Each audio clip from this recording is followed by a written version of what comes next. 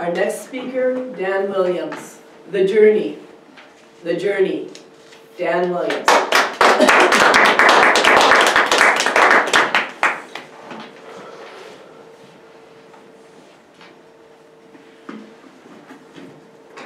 How many of you read the Bible a crayon, the 10x? Anybody? Good, a lot of it. Inspirational, isn't it? I came across a story in the Bible a couple months ago, kind of interesting. A landowner was going on an extended trip, so he called three of his employees into his office and said, I'm leaving, I'll be back in about a year. But I'm going to give each of you a gold coin. And then he left. He came back a little over a year later, and he called his three employees into his office, and he said, well, how did you do with that gold coin? Well, two of them spoke up quite proud of themselves and said they invested it and got two to three-fold back on their investment. The third individual was asked, what did you do with yours? He said, I buried it because I was afraid that I might lose it and you'd get mad at me. Well, the landowner rewarded the two that did well with their investments. In fact, he gave them each their own individual farm, so they were now self-sufficient. But for the person who buried the coin, he was kicked off the farm, he was kicked out of the place, and he actually was banned from this whole area. Now, what does that mean? How do you interpret that? Well, I interpret that gold coin as being potential. You've got it, you've got it, you've got it, you've got it, I've got it. Everybody has potential. Everybody has the gold coin. Some of us use it, some don't, some disregard it. But a lot of us don't see the light at the end of the tunnel and they need some help with their potential to unleash it. They get a mentor and or they go to these motivational seminars. How many of you have been to a motivational seminar, goal setting type deal? Boy, they're wild, aren't they? These guys get up in front of you on their yachts, yelling and screaming about writing down your goals that goals mean nothing if you don't write them down. They're just fantasy.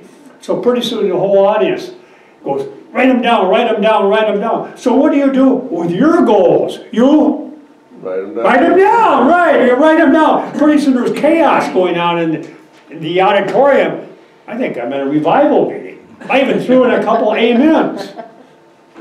Now goal setting works, doesn't it? if you follow your plan and write down your goals.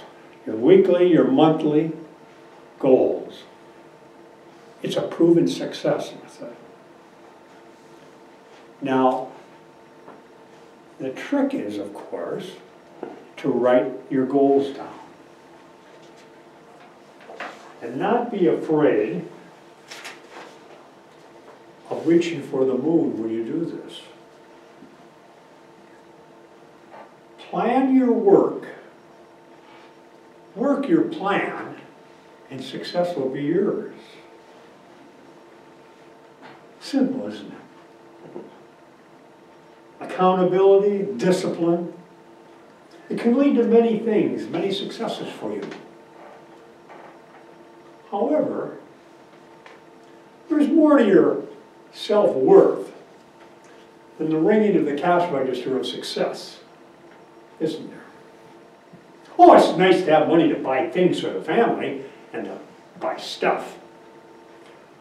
Are we forgetting our spirituality and becoming a complete human being?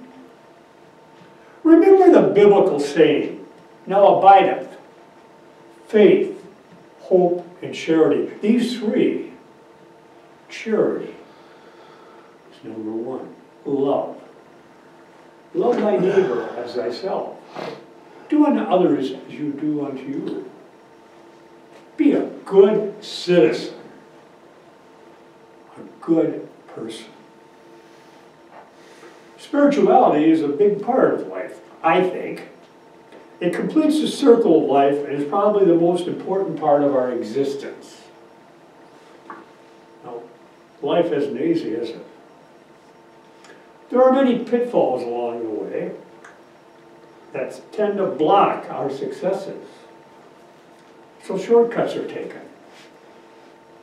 Trust get bent. Love is weakened.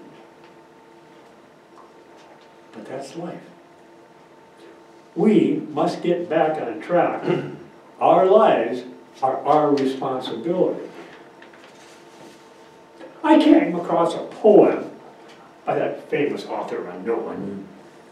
that I think can help us in our journey through life, from the potential, motivational, and to successes. When you get what you want in your struggle for self, and the world makes you king for a day, just go to a mirror and ask yourself what that man has to say. Now, I don't know about you, but I go to a mirror, I cringe, look around. I don't want to see that guy that I thought was 25 years old. 30, 40? Talk about being intimidated. However, he's got my soul.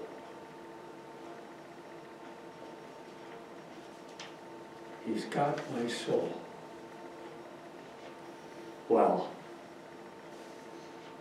that's a big thing. I don't know about you, but I don't like looking in that mirror. But I have to be held to accountable. So, you may fool the whole world down the pathway to years, and get pats on the back as you pass. But if your final reward is heartache and tears, you cheated that man in the glass. By unleashing your potential, getting and staying and motivated, your financial, personal, and spiritual goals will be attained. Your life is your responsibility. So what are you doing with your gold coin? Toast my